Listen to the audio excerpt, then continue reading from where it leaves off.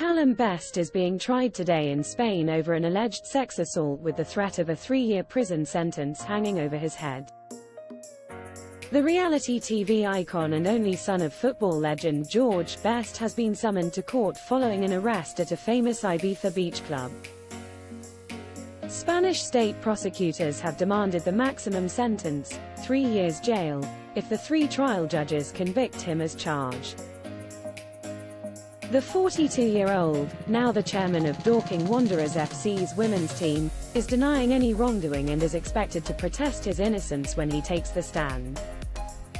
Calum, who won Celebrity Love Island in 2006 with Bianca Gascoigne and has starred in two series of Celebrity Big Brother, was held in April 2022 over an incident at the O Beach Club which was never made public at the time.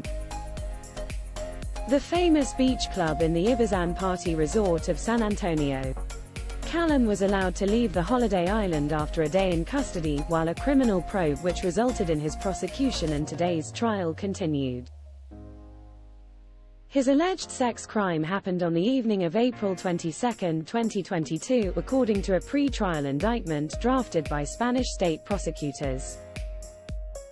The two-page indictment accuses Best, born in San Jose in California, of kissing a female tourist he had argued with moments earlier over photos she had taken before, grabbing her hand and putting it on his privates, under his trousers, while he told her, feel this. Prosecutors say both actions were motivated by his aim of satisfying his sexual desire.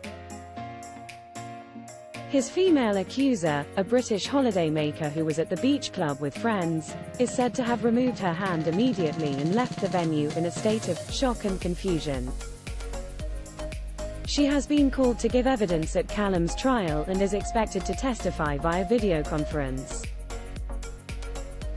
He has been charged with a crime of sexual assault under Spanish law, which is punishable by between one and three years in prison.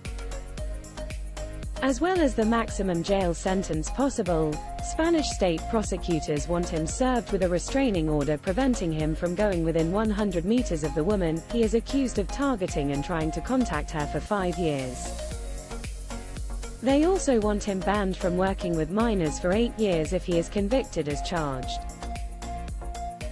His fate will be decided by three professional judges rather than a jury as jurors are not used for sex crime trials in Spain. The trial is expected to start and finish today. The reality TV star, an active campaigner for the Her Game Too campaign which aims to tackle sexism and champion women's football, took a volunteer chairman position in August 2021 at Dorking Wanderers after being approached by owner and friend Mark White.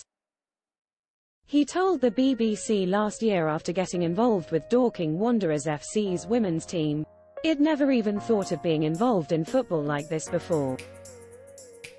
But, I thought there was the opportunity to do something positive for women's football.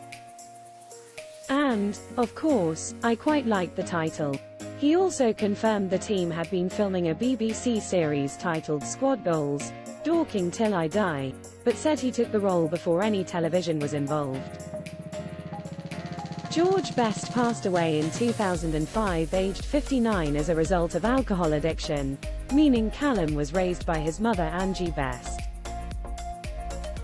He spent most of his childhood in Los Angeles, where he became a model in his mid-teens.